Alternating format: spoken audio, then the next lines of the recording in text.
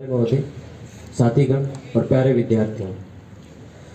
स्वामी विवेकानंद ने कहा था कि उठो, जागो और तब तक नहीं रुको जब तक कि लक्ष्य प्राप्त ना हो जाए।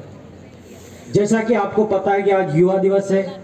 प्रतिवर्ष हम 12 जनवरी को स्वामी विवेकानंद के जन्म दिवस के अवसर पर युवा दिवस मनाते हैं। जैसा कि अभी बताया गया, जो वायु के वेग से चले उसे युवा कहते हैं। वायु युवा। यू को पीछे कर दो, वा को आगे कर दो। वायु, युवा। स्वामी विवेकानंद का जन्म 12 जनवरी अठारह को कलकत्ता में हुआ। उनके बचपन का नाम नरेंद्र नाथ दत्त था। उनके पिता विश्वनाथ दत्त थे और उनकी माता भुवनेश्वरी देवी थी।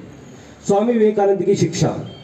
सन 1871 में आठ साल की उम्र में नरेंद्र नाथ ने ईश्वर चंद्र विद्यासागर के मेट्रोपॉलिटन संस्थान में दाखिला लिया, जहाँ वे स्कूल जाना शुरू हुए। 1879 में कलकत्ता में वो एकमात्र छात्र थे, जिन्होंने प्रेसिडेंसी कॉलेज ऑफ़ कोलकाता प्रवेश परीक्षा में प्रथम अंक डिवीज़न प्राप्त किए। उनको पढ़ने का बहुत ही ज़्यादा शौक था। वे दर्शन, धर्म, इतिहास, सामाजिक विज्ञान, कला और साहित्य सहित विषयों के एक उत्साही पाठक थे। नरेंद्र को भारतीय शास्त्रीय संगीत में प्रशिक्षित किया गया था। नरेंद्र ने पश्चिमी तर्क पश्चिमी दर्शन और यूरोपीय साहित्य का अध्ययन जनरल असेंबली इंस्टीट्यूशन से किया। 1881 में उन्होंने ललित कला की परीक्षा उत्तीर्ण की और 1884 में कला स्नातक की डिग्री पूरी कर ली।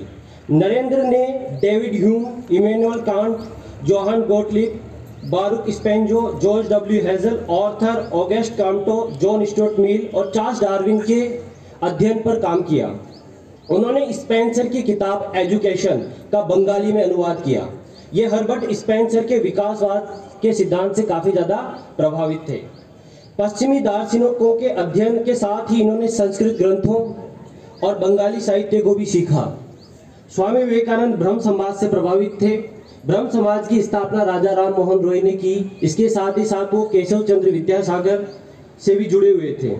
1881 से लेके 1884 के दौरान ये सेंस बैंड ऑफ़ होप से जुड़े हुए रहे, जो युवाओं में धूम्रपान और शराब पीने से मना करता था।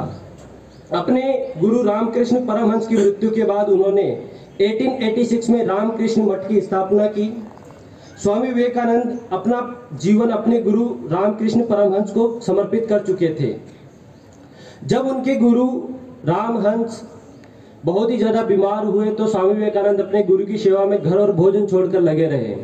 स्वामी विवेकानंद विदेश में जापान, चाइना, कनाडा की यात्रा में निकल गए। सन 1893 में वो शिकागो की धर्म संसद में पहुँचे। उस समय मात्र उनकी आयु 30 वर्ष की थी। शिकागो में अमेरिका के विश्व धर्म सम्मेलन में हिंदू धर्म का प्रतिनिधित्व किया और उसे सार्वभौमिक पहचान दिलवाई। स्वामी विवेकानंद ने यहाँ पर एक बहुत ही जोरदार और प्रभावशाली भाषण दिया, जिसकी शुरुआत उन्होंने मेरे अमेरिकी भाइयों और बहनों से की। इसी भाषण में उन्होंने कहा कि विभिन्न नदियाँ भिन्न भिन्न स्रोतों से निकलकर समुद्र में मिल जाती हैं। उसी प्रकार है प्रभु भिन्न भिन्न रुचि के अनुसार विभिन्न टेढ़े मेढ़े अथवा सीधे रास्ते से जाने वाले लोग अंत में मुझमें ही आकर मिल जाते हैं।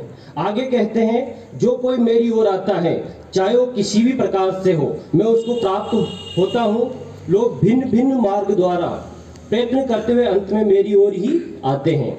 4 जुलाई 1902 को मात्र उनतालीस साल की उम्र में स्वामी विवेकानंद ने इस दुनिया से अलविदा कह दिया। संक्षिप्त जीवन काल में स्वामी विवेकानंद ने जो काम कर गए, वो आने वाली शताब्दियों तक हमारी पीढ़ियों का मार्गदर्शन करता रहेगा। उन्होंने मूर्ति पूजा, अंधविश्वास, आडंबर और नशे का विरोध किया। स्वामी विवेकानंद ने महिलाओं को समाज में बराबरी पर जमकर समर्थन किया। महात्मा गांधी को आज़ादी की लड़ाई में जो जन समर्थन मिला, वो विवेकानंद के आह्वान का ही फल था। इस प्रकार वे भारतीय स्वतंत्रता संग्राम के एक प्रमुख प्रेरणा स्रोत के रूप में आए। स्वामी विवेकानंद के जो शिक्षा के दर्शन है, कुछ इस प्रकार हैं। शिक्षा ऐसी हो जिससे बालक का शारीरिक, मानसिक और आत्मिक विकास हो सके। शिक्षा ऐसी हो जिससे बालक के चरित्र का निर्माण हो, मन का विकास हो, बुद्धि विकसित हो सके और बालक आत्मनिर्भर बने। बालक और बालिकाओं दोनों को समान शिक्षा देनी चाहिए। धार्मिक शिक्षा पुस्तकों से न देकर आचरण और संस्कारों द्वारा देनी चाहिए। पाठ्यक्रम में लौकिक और पारलौकिक दोनों प्रकार के विषयों को स्थान देना चाहिए। शिक्षक एवं छात्र संबंध अधिक से अधिक निकट होना चाहिए। सर्वसाधारण में शिक्षा का प्रचार प्रसार किया जाना चाहिए। देश की आर्थिक प्रगति के लिए तकनीकी शिक्षा की व्यवस्था की जाए। मानवीय एवं राष्ट्रीय शिक्षा परिवार से शुरू करनी चाहिए। शिक्षा ऐसी हो जो सीखने वाले को जीवन संघर्ष से लड़ने की शक्ति दे। राष्ट्रीय युवा दिवस 2023 की theme it's all in the mind रखी गई है। अंत में स्वामी विवेकानंद की कुछ अनमोल वचन हैं। खुद को कमज़ोर समझना सबसे बड़ा पाप है। एक समय में एक काम करो और ऐसा करते समय अपनी पूरी आत्मा और अपनी पूरी शक्ति उसमें लगा दो और बाकी सब कुछ भूल जाओ।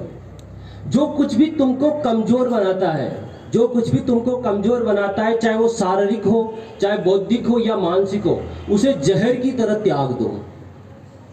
चिंतन करो, चिंता नहीं, नए विचारों को जन्म दो।